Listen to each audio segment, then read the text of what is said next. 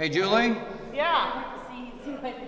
I got this more uncovered. Maybe you can come over and figure out what it is. Okay. I'm coming. Holy crap! What is this? This is totally. This has got to be. This is like a giant sesamoid. This has to be a patella. Give me the. Give me your pick. Give me your pick.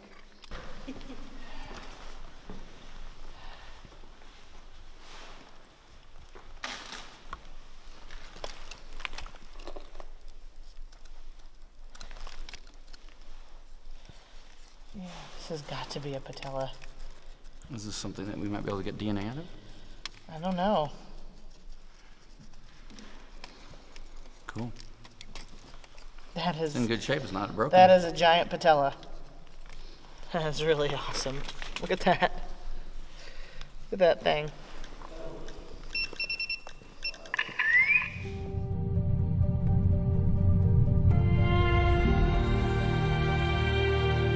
About 1.8 million to 11,700 years ago, 30% of the Earth's surface was covered by ice. The Pleistocene was marked by the establishment of climatic conditions similar to those found in the same areas today.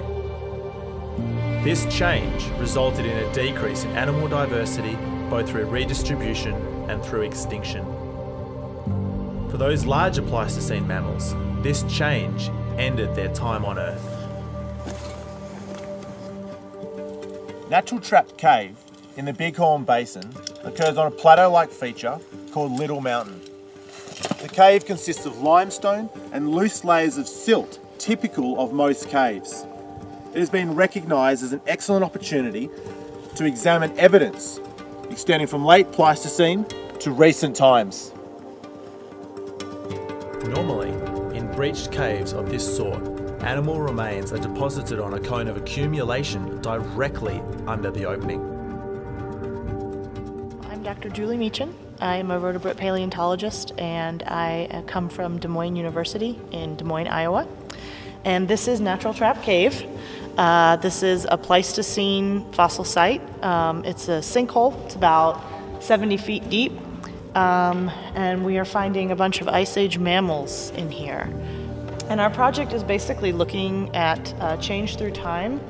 Um, we're looking at aspects of morphology, uh, ancient DNA.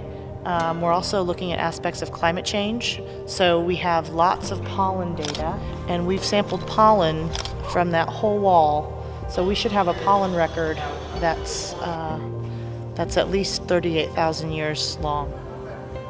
By using modern scientific equipment, the scientists are able to keep an extremely detailed record oh, of where in the cave bone specimens are found.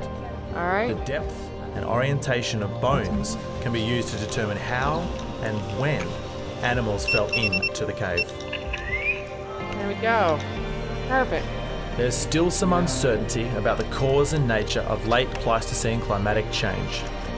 For the larger Pleistocene mammals, it seems likely that their extinction was due to habitat destruction on a massive scale. With science like this, perhaps the mysteries of this time when the great Columbian mammoth roamed and the elusive American lion ruled its kingdom, these questions to the long standing riddles can be answered.